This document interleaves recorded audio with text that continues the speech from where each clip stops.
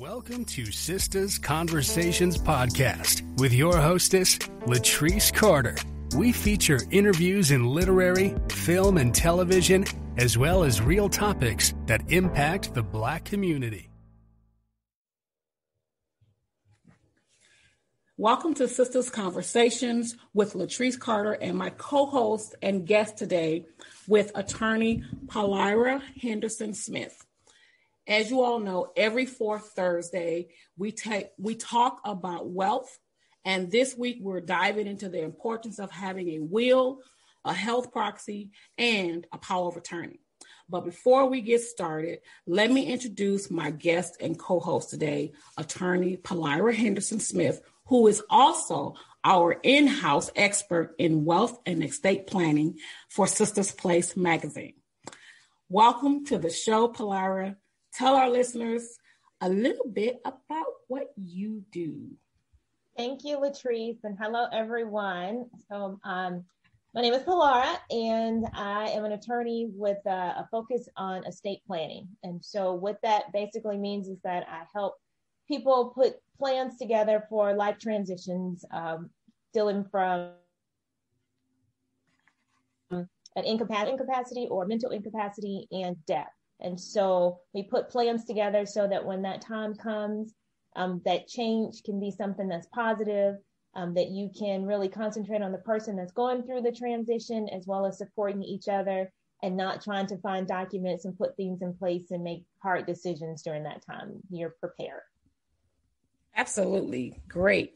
Now, in the Black community, it's not common to have a legitimate will or power of attorney or even a health proxy. This is not something we are taught as we were coming up, but we see how important this is for us to have after attending personally funerals um, of our loved ones where, pers- where people are fighting over these assets that no one really has a stake in unless there's an actual will. You know, um, people feud, they fight. It's, it's, it's very agonizing, it's very frustrating, and it's very stressful. And it's unnecessary if we have the right tools in place so that we can leave our assets legitimately to those that we love. So let's jump in and get started with some questions. Um, Pillara, tell us what is a will? So, a will basically is a tool um, that gives direction for the wrapping up of your affairs. And so, the distribution of all of your remaining property, the appointment of an executor who is someone that will manage um, the property for you over the estate, and then the nomination of a guardian for your minor children or if you have disabled adult children. Okay, okay, okay. So why is it so important for us to have a legitimate will? And I say a legitimate will because some people write it out on a piece of paper and say, "Okay, I have read this when I die." so you know, and, and it's not legitimate, really. So it's it's not necessarily legitimate, and um, so a, a will is important because it allows you to to decide who should receive your property how much of the property they should receive. Um, it allows you to decide who should care for your children um, in your absence. And if you don't have a will, every state basically has one for you. So someone at the end will make those decisions for you. So the, the thing is, do you want to make your informed choices yourself? Or do you want to go based off of a kind of blanket generic law that's put into place. Um, and so it's important, right? These are things that you have gathered that are important to you that can really make a difference to those that you leave behind, but you have to prepare. You have to do the work.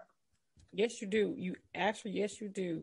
And um, I have a will, just so you know, I want to share with our listeners.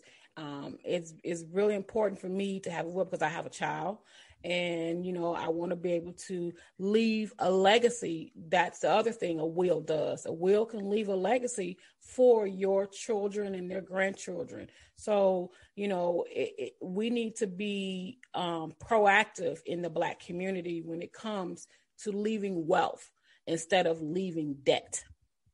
Um, that's and and, and I know that's another whole another topic, but I just want to put that out there, and we will be touching over this in the coming weeks um, as well. Now, um, is it expensive to have a will drawn up? It's not expensive to have a will. I know lots of people think that in order to come see an attorney and to have a will, you're going to be out thousands of dollars, but that's just not the truth.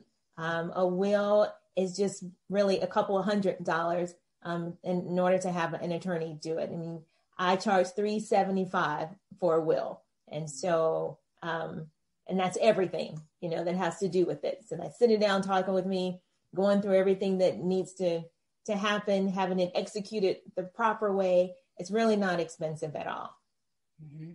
And, and, I'm, I'm I'm a witness because um, she is my attorney. I just want to throw that out there. I'm sorry, y'all. I'm I'm gonna promote her and just pull her, throw her out there because she is very good at what she does, and I truly, truly appreciate her. And we have a beautiful friendship that has formed a, a, in this, and it's so funny.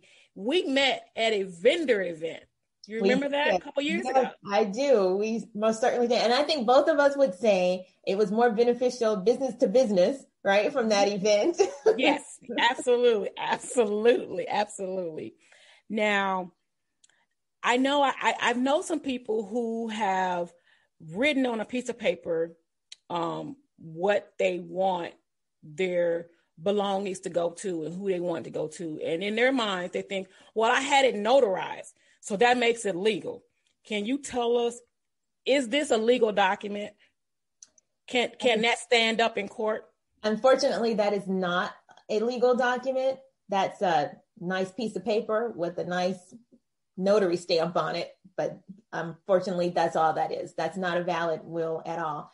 Now, um, what they are attempting to do is something called a holographic will, which is you write it out in your hand and then you sign it. But most states do not recognize holographic wills. Illinois is one of those states that does not recognize a holographic will. So simply because you write it and you sign it and you take it to have it notarized, it is not a valid will. Um, in order for that to be a valid will, now you can write, you can handwrite your will, but it still has to be executed the proper way. There's still the formalities that must happen in order for that to become a valid will, meaning it has to be witnessed properly. It has to be um, attested to properly. Um, and so there's lots of different steps that has to happen in order for that to be a valid will, right? So you have to be of sound mind and memory when you are writing that will. So it has to be signed in the presence of two witnesses, meaning the witnesses have to see each other sign, they have to see you sign, you have to see them sign, right? They have to be willing to say that you are of sound mind and memory and that they are over 18. And so there's lots of different formalities that needs to, to happen. And so the problem is that people write those wills, they take it and have it notarized, and that means absolutely nothing. In the state of Illinois, and in most states, a will doesn't have to be notarized at all. So that step alone does absolutely nothing. Mm-hmm, mm-hmm. So, so for all of those of you that I've chatted with in the past, you know, in a recent group, um, this is really important. You may have written this out, but it's it's not Illinois does, and these and these people live in Illinois. Um, that will that you wrote out on hand is not legal. It will not be recognized. It will not be recognized. Um, so tell everyone what happens when a loved one of yours passes and they do not have a will. What happens? So if someone passes and they don't have a will, like I said, there is one that's written for you. It's written by the laws of the state. And so that is considered when you are done intestate. And so it will go based on the laws of the, the state. Basically, it says if you are married and have children, your spouse will get half of your estate and your children will get the other half in equal shares. So that means if you have two children, they'll get half and that half will get split two ways. If you don't have children and you only have a spouse, then your spouse will get the whole. Um, but there's a process in order for all of this to happen. And there's court involvement, which is considered probate, which we could probably talk about that another day because I know a lot of people are a little confused about what probate means. And simply because um, the laws are, are in place, it doesn't mean that these things just happen automatically, which I know a lot of people think that they do. Well, I don't need a will. I'm married. I don't have any kids. And so everything's just going to my spouse. And so we're all good. so um, that seems like that's a, a legitimate thing that can happen, but that's not quite how that happens. And then you still need to plan for well, what happens when your spouse passes away. Um, so there's lots of layers in there that unfortunately kind of get skipped over or left out or not addressed. Mm-hmm. And yeah, and that's definitely something we're going to definitely touch base on next month, guys, um, with probate, especially if you have a you have life you have a life insurance policy and you don't have a will. Uh, the how, how that gets treated because will that go through probate as well, Pillara? So here's the thing, and a lot of people don't realize this. There are certain things that are considered contractual, and because they are contractual, they won't go through probate at all, nor are they governed by your will, which is why this is an important conversation to have. Um, so, for instance, you just brought up life insurance. Mm-hmm. So, if you have a life insurance policy, say you took it out when you first turned 21, got your first job, and you wasn't married, didn't have kids, and possibly you put down your parents as the beneficiary. Well, 20 years later, you still have that same insurance policy and it still lists your parents. Now, though, you're married or you have kids or all of the above. Guess where that insurance policy is going? To it's going to your parents. So it doesn't matter that you've written out a will and you said that I want everything to go to my my spouse and then from my spouse I want everything to go to my kids.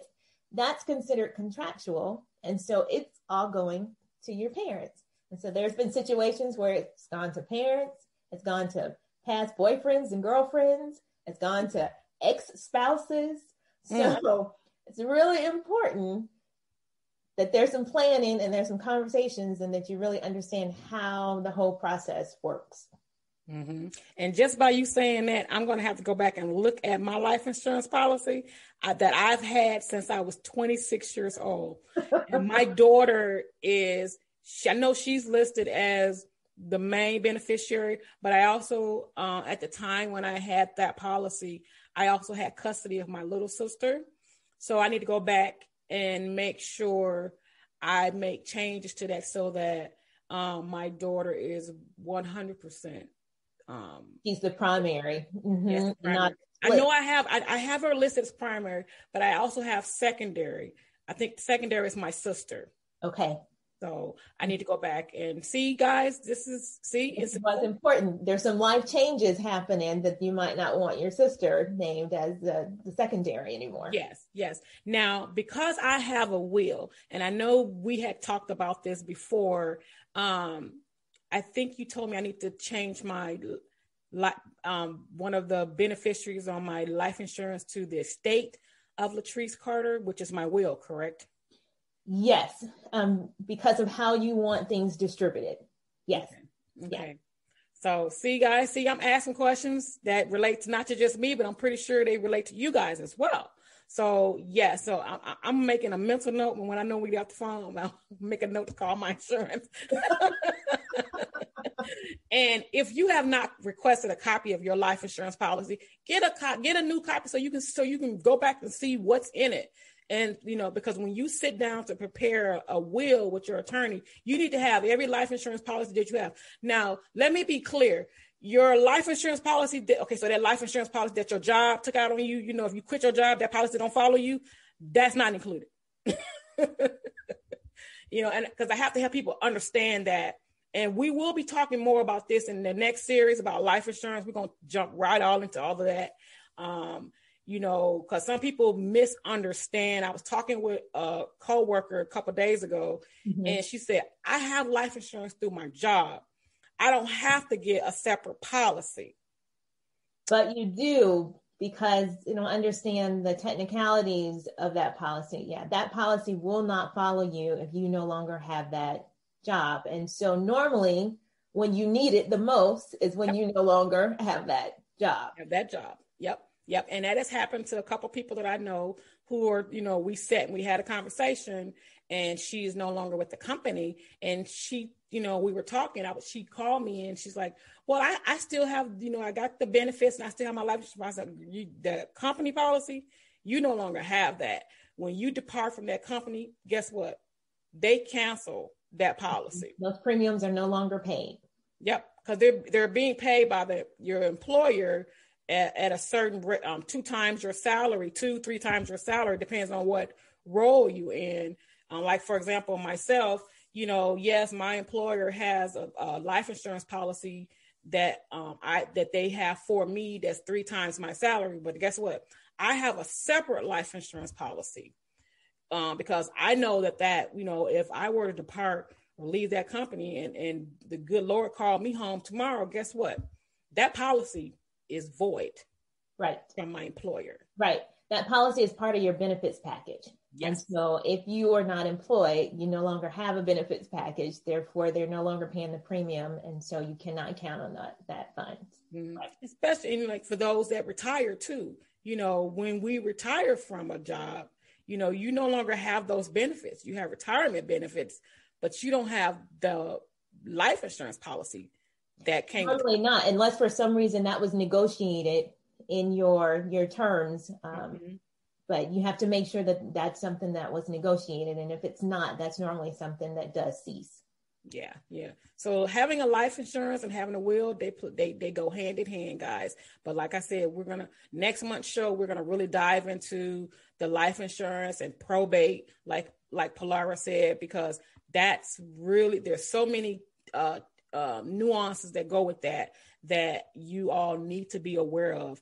And for the black community we need to be more proactive having a will instead of when the when a loved one dies you go to these gofundme pages and you're asking other people to help you bury your loved ones. You sh- life insurance is not expensive and having a will is not expensive either. We need to be more proactive um, leaving wealth instead of debt. And you know because um, when you ask family members to help bury your loved one that is debt that's not legacy. That's not wealth at all. And i've seen this so much on facebook and instagram. You name it, it's all over social, social media. You know you raise the money so you can bury your child your child your sister your brother your parents because they did not have a will. They did not have life insurance. So um, we want you guys to take notes and really, you know, and drop your questions in our um in our podcast group. We'll be very happy to answer any questions you may have.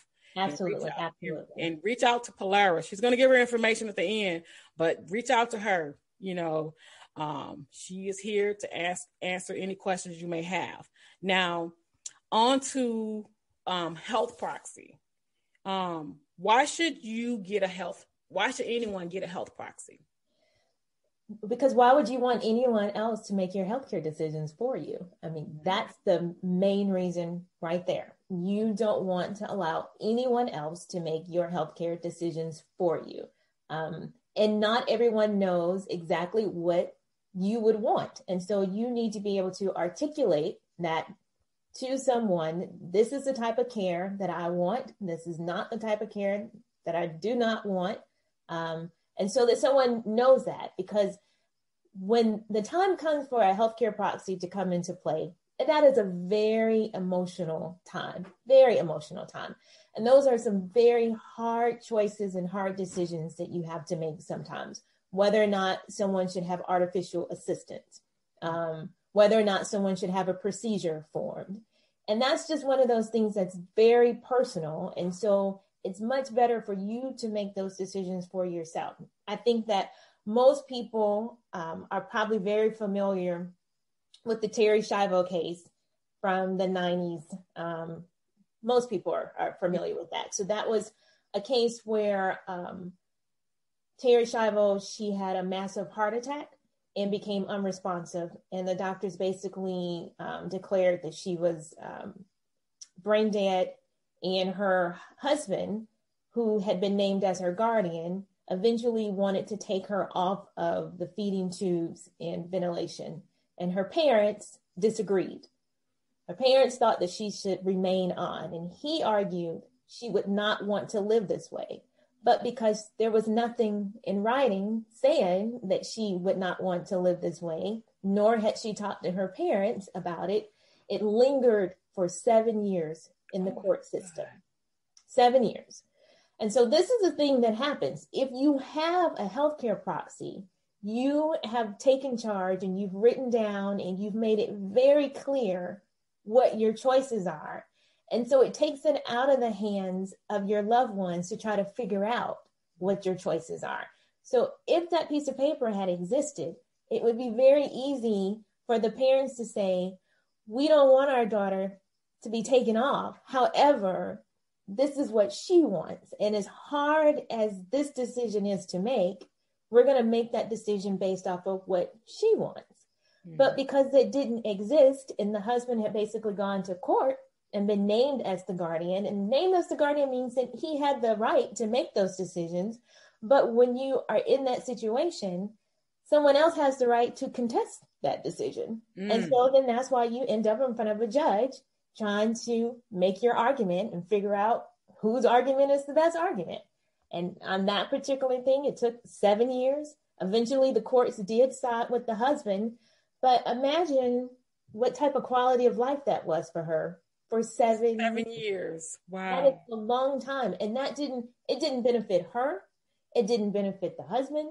It didn't benefit the parents. Mm-hmm. That is just a very drawn out, sad, awful situation for everyone involved.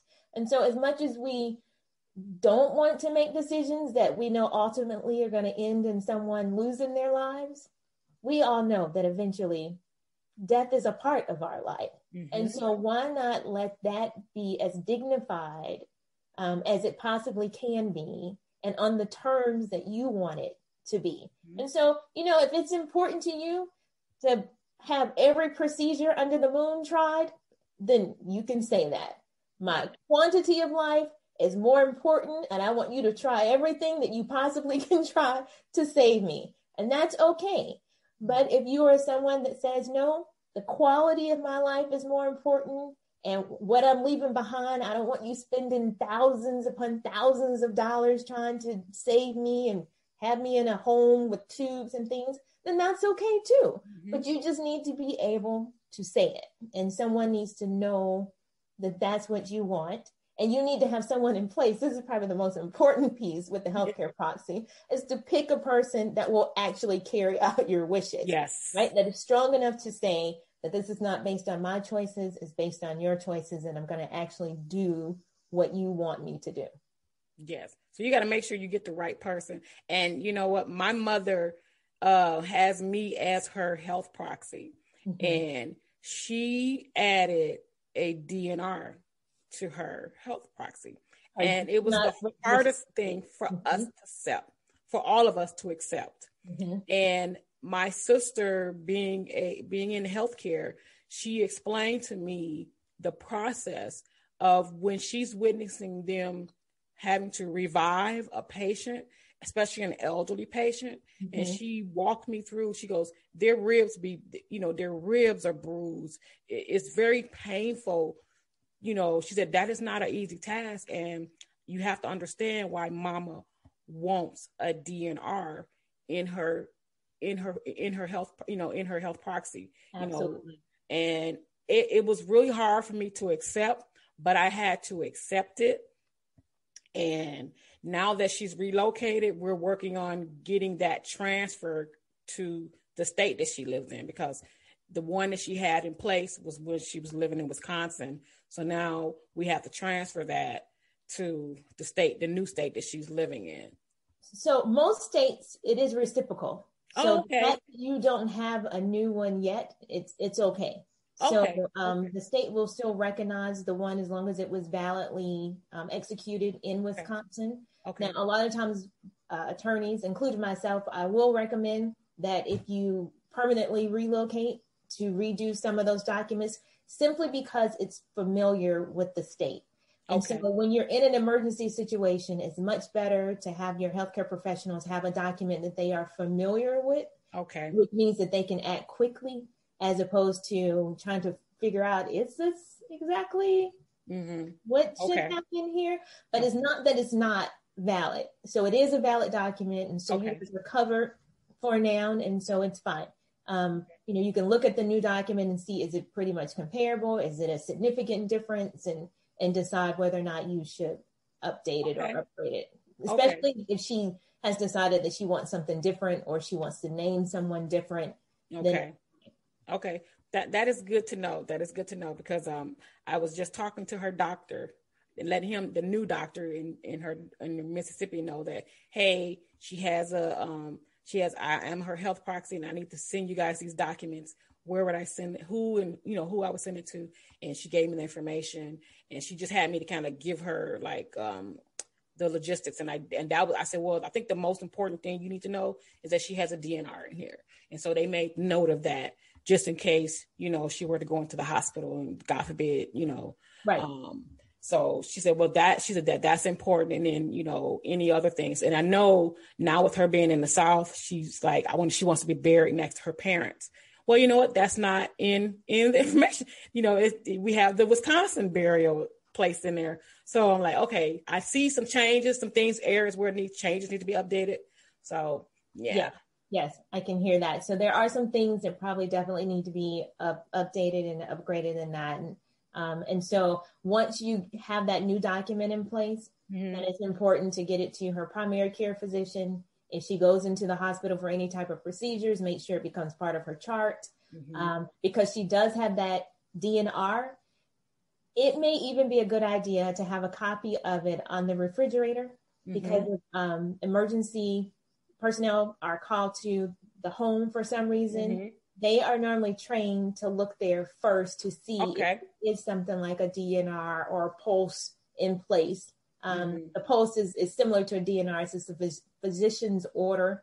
Um, and so it's really similar. So they look and see what okay. is it that we should do in this emergency situation because default is, right, we're going to bring her back. Right, right. right? right.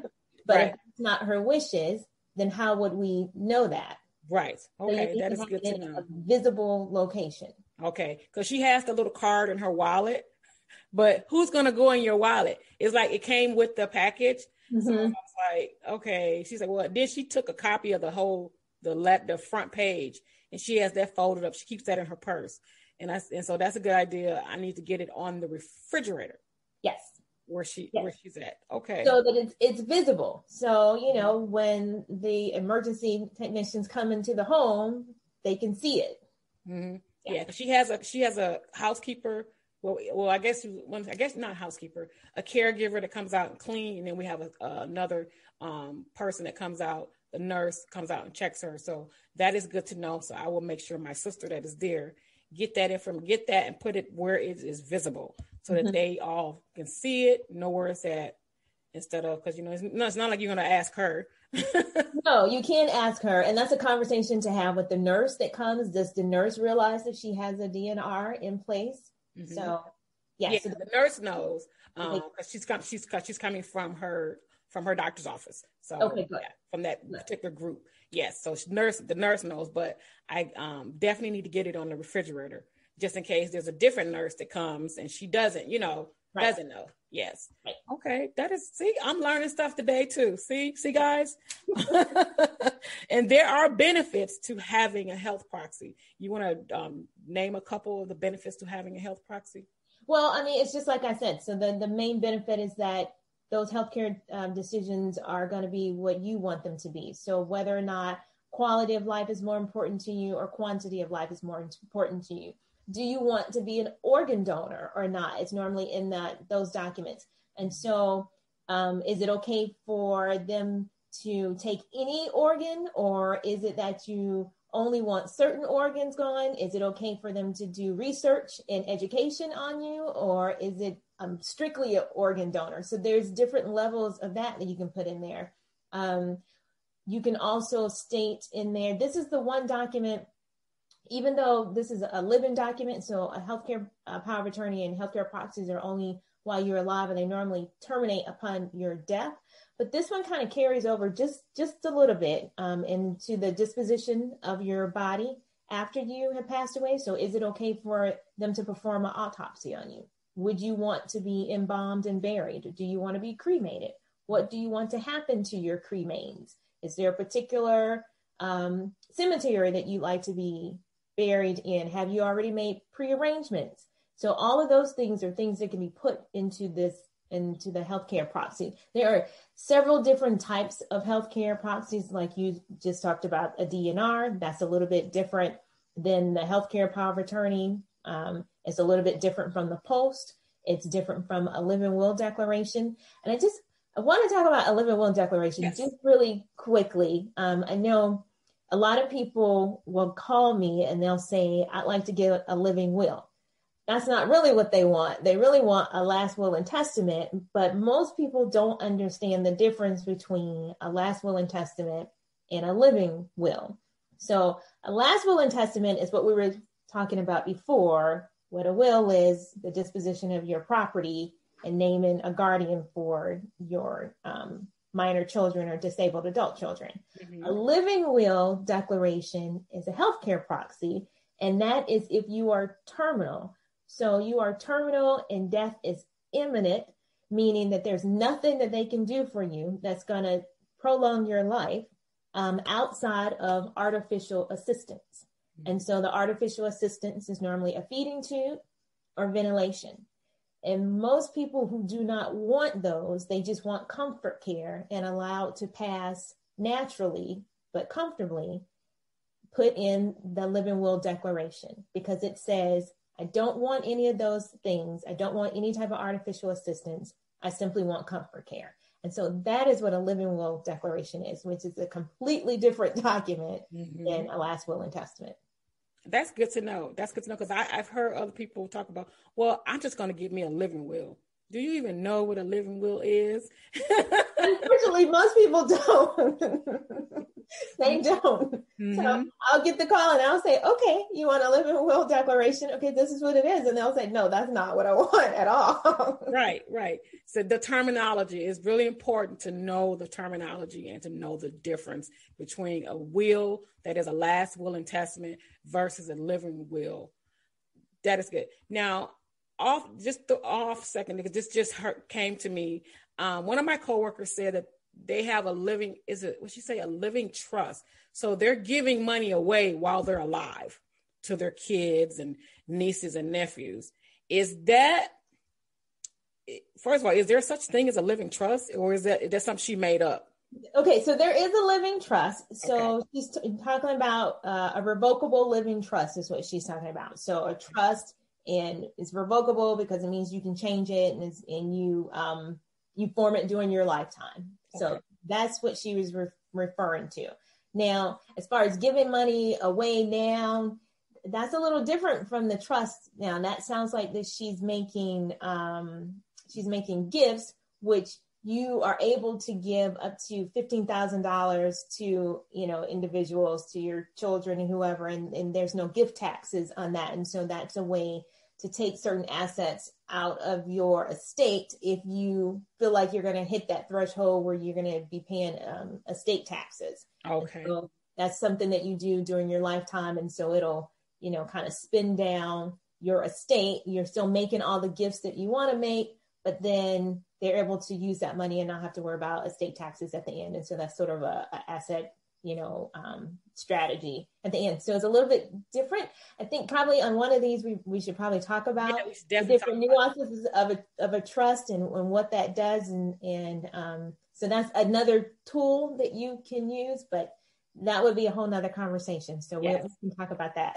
yes, yes, we will definitely be talking about that on another on another series um, because that's this is this is all good information that we can use and that you know when we get to that that that threshold of income, you're like, okay, you know, especially if you don't have any dependents and you're at a certain um, tax bracket or, or income level, this is a great tool to use, I think. Mm-hmm. Um, so we'll definitely have this on another series um, for you all um, yeah. so that Pillara can talk more in depth about this. Yeah, so we will. So that it sounds like what your coworker is doing is, is a little bit different. And so that's probably something to do with estate taxes, but it probably is also something to do with her income taxes right now, because if you give those gifts away, then it obviously is, you know, spending down your income for the year. And so you're you might put yourself in a lower tax bracket for your income taxes. So that's a that's probably a whole nother conversation.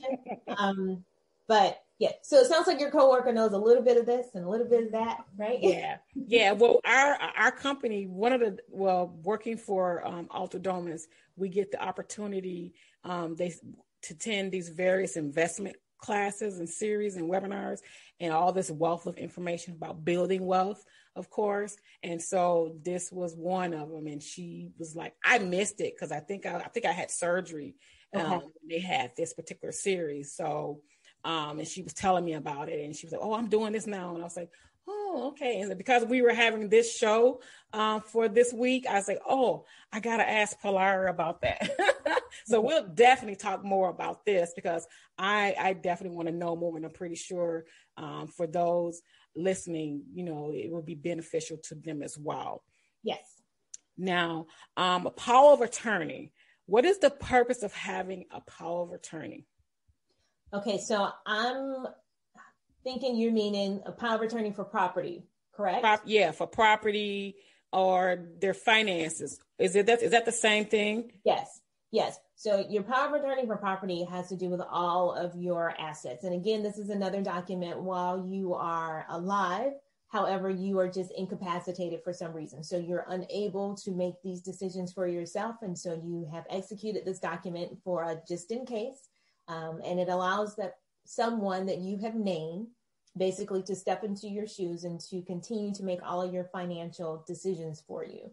Um, there's a blanket of powers that are given within that power of attorney for property, um, but you can always add more um, powers, more authority. You can limit it as well. But it's important because you want someone to be able to access your assets. So that means you want someone to be able to access your your banking accounts maybe to continue to pay your rent continue to pay your your mortgage to continue to pay your um, your car payments um, you want someone if you're in the middle of any type of acquisition maybe i know you are thinking about sometime soon purchasing a home mm-hmm. maybe you're in the process of that but it's not completed you want someone to be able to step into your shoes and to finish that contract for you so that mm-hmm. that deal doesn't fall um, fall away so you don't lose that opportunity so it's it's really important if you have someone in place i know a lot of times people kind of assume again we make these really bad assumptions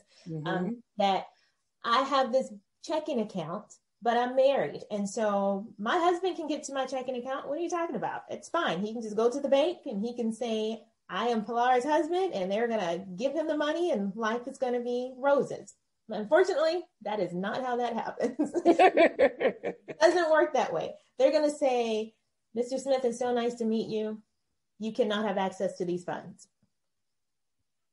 So it is really important that you have that document um, in place those assets are yours. The bank is under no obligation to work with anyone else, only you. It is their job to safeguard those funds on your behalf. And so it does not matter that a spouse or a child or whoever shows up at the bank and says, but I have the checkbook or I have the whatever, and she says is okay. They're going to say, you need to go to court. You need to be appointed as a guardian. You need to come back with some documents for us, some letters of office for us, some ID, and then we'll have a conversation, right? Mm-hmm. Um, so, but if you have that in place, then someone is able to carry on all of your financial affairs for your benefit. So that includes complete any type of applications you might be in the process of. That means um, talking to, um, you know, like the utility company on your behalf or mm-hmm. or whatever. Um, so anything that has to, to do with your finances, those things can carry on so that when you are well, mm-hmm. right, you are back in the place where you started. You're not trying to, you know, figure everything out and, and things have collapsed and fallen apart around you. Mm-hmm, mm-hmm. And here, I got a quick question. So, you know how some states are community states? Is it, is it, is it is it community far as like community property? Community property. So does that play a role when it comes to having access um, to your spouse's bank, you know, bank account, like you said? Not while you're no, not while you're alive like that. So just because, um, so if you lived in a community property state and it says that this, if my sole name is on the checking account, However, if we split, you are entitled to half of it because we are in a community property state. Mm-hmm. Yes, you are entitled to half of it. However, while I'm still alive and only my name is on the account, that spouse cannot go to the bank and say, I'd like to withdraw all the funds out of this account. It still does not work that way simply because only my name is on the account. Yeah, okay. But if we were in the in a divorce, I would have to present those funds just like any funds that was in a joint account. Okay. Right? And he is entitled to half of what's in that account. he gets it. But while I'm alive and only my name is on it, he can't go to the bank and, and make those withdrawals. It's unfortunately doesn't doesn't work that way. Okay, okay, okay. You know what? That's good to know. I think um I think maybe down the line too, one of another topic that we should probably talk about is prenups. Yeah. Why um, you can have one? What should be in it? Well, yeah, mm-hmm. yeah, we, we discussed that. Yeah, we yeah because especially for women, you know, you're established. You're you're well established, like myself. I'm gonna use myself an example. Mm-hmm. Well established, and you meet someone, and you know, you meet someone, and, and you get married to that person, and two years down the line, you know, you you know, it doesn't work for whatever reason, and you get divorced. And if, like you said, being a, a community property state, he's entitled to half. Mm-hmm. So somebody can come along and only been around two years and take half of what you've worked so hard for. Yeah. And I think about that every day. And in my mind, I said, if I ever get married, he will have to sign a prenup. Prenup. Yes, because I've worked too hard. I've built a, a retirement pension and I have, you know, I have property, I have a business. I'm not going to have someone come along and just literally take half of that. And some, you know, I can, you know, I'm not saying everybody's like this, but I have a friend who went through a, a nightmare of a divorce and she had a business and he didn't care about their business the whole time they were married. Didn't care about it. And in the divorce, he wanted to be um, partner. He knew nothing about the business, that nothing about the industry, nothing about the business, nothing. He wanted to be a part of this business, just like just to be dis- be spiteful. I think that's my opinion. But she worked so hard building her business. She had had this business for 20 years. For someone to come along to you know, you only been married for five years, five, uh, they weren't married long. Okay. And to come along and you get half. Oh, I hate to hear that, but this is one of those things that we can learn from her experience mm-hmm. and know that preparation. Yep. Um, and forethought can go a long way. Mm-hmm. And prenups do not have to be something that is seen as very negative. Right. Um, it can be a very open and honest conversation.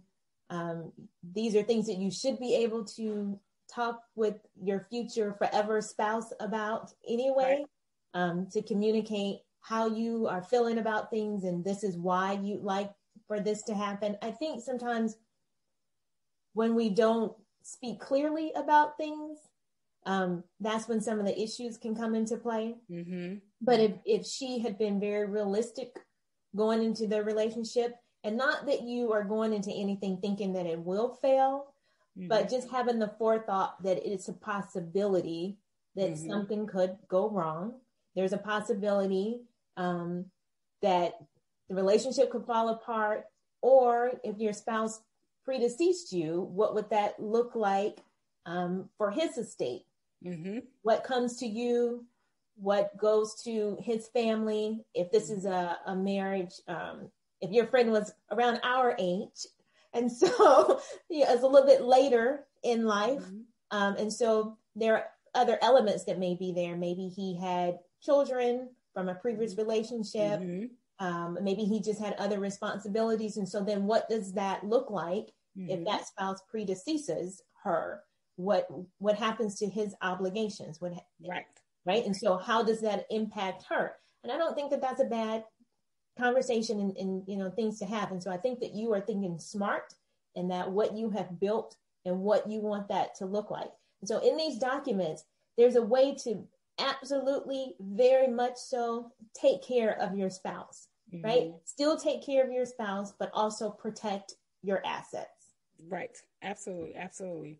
Especially, especially if you have property that was, um, cause she had, um, her grandmother, the, her grandmother's house was left. It's been passed down to all the girls generation to generation to generation. And this is a house that's been, and there's a will, you know, her grandmother had a will, thank God.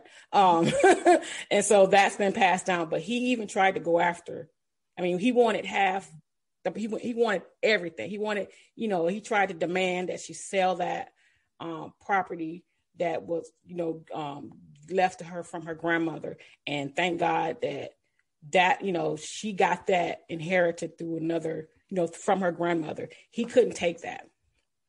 She fought very hard that he wow. couldn't get it. Yeah. Wow. He got wow. every, he got a lot of, he got, he got, um, he's partners, he, um, got partnership into the business and he really didn't want it. You know what he ended up doing? He told her he'll give her the business. She had to buy him out. Mm, wow. And it, it was just a really big headache. And she did, she bought him out and she's like she sold property just to buy him out. So th- this is one of those things that if they had talked about it beforehand, mm-hmm. then these are things that could have been put into the prenuptial agreement, mm-hmm. um, and then it wouldn't have been so emotional and so heated because they'd already agreed when they both were more level headed. Unfortunately, when we get to the point where the relationship has come to an end, there's a lot of hurt feelings. Yep. a lot of angry feelings. Um, if it's not a mutual split. And so sometimes you do find yourself in these situations where people are behaving in ways that they would not normally yes. behave in. And so it does turn out to not be beneficial to anyone involved. But when you are bringing significant things to the relationship, um, I think it's really important to talk about that up front. Yeah. You know, it's worth yeah. having a conversation about it up front. Even if you decide not to have a prenuptial agreement, you mm-hmm. still need to have a conversation about it up front.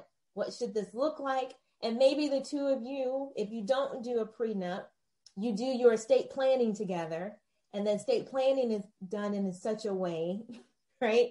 Yeah. That a lot of those things are addressed. So you're not planning in case there's going to be a split, the estate planning won't plan for that, but it will plan for if um, someone, either of you passed away, what would that look like for each other? Mm-hmm. What would mm-hmm. that look like for your other obligations? Like I said, if you had children that you were supporting, marriage, yeah. parents that you were supporting, or whoever, you know, sometimes there are situations where people are helping to support their siblings um, mm-hmm. um, or parents because they're elderly or they're yep. ill. So you put those things into place and then hopefully you can avoid some of the hurt feelings, um, some of the neglect, mm-hmm. and you can still live up to those obligations. Absolutely, absolutely. Oh yes, this is good. This is really good today. I, I really like this. Um, there's going to be a lot coming from us over the next couple months, y'all. I'm looking forward to it. I am too. I mean, this is so good. So tell our listeners how they can get in touch with you and learn more about what we've talked about today. Um, we I feel like we need to have a part two on this whole wheel thing. Uh, okay. yeah. Okay, we can do that. So I would say, um, again, I just want to reiterate what you said earlier. Is if, if people have questions or interest, please put it in the what do we comments or notes and things so that we can respond and, and it'll give us ideas for um, future conversations that we're having as well. Yes. So you can reach me a couple of different ways. So the easiest way to find me is on my website. So you can go to www.hendersonsmithlaw, so H-E-N-D-E-R-S-O-N-S-M-I-T-H-L-A-W dot com. Um, and all of my information is there. So um, there's a direct numbers if you wanted to give me a call, but um, you can reach me there. You can go to my calendar and schedule a consultation or a talk. So all that's on my, my website. Um, you can also find me on Facebook under uh, Henderson Smith Law. I'm on uh, LinkedIn under Pillara Henderson Smith. I think I'm on, I know I'm on Instagram. I think it's under Pillara Smith. Um, you can find me lots of different ways. You, there's not anybody else that I've met who's named Pillara. So if you type in Pillara, it'll probably pop up on you. If you just do a basic search for Pillara Henderson Smith, you, you'll find me.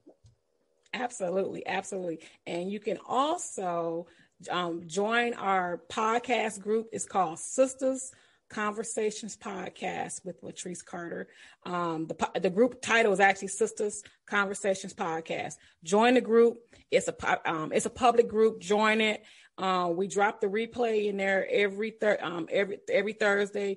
It automatically loads to um, our Sistah's Place page, and it's uh, and you know wherever you listen to podcasts, whether it be Spotify, Apple, iHeartRadio, you name it. We're on like 15 different streaming channels across the globe, so we are heard. So make sure you um, tune in that you know tune in there. So let's um, go with our closing remarks. Pillara, you have any closing remarks for today's show? Well, um, Letrise, first, I just want to say thanks for doing this, for having this idea to have this conversation. Um, I'm excited about what these next few months will look like.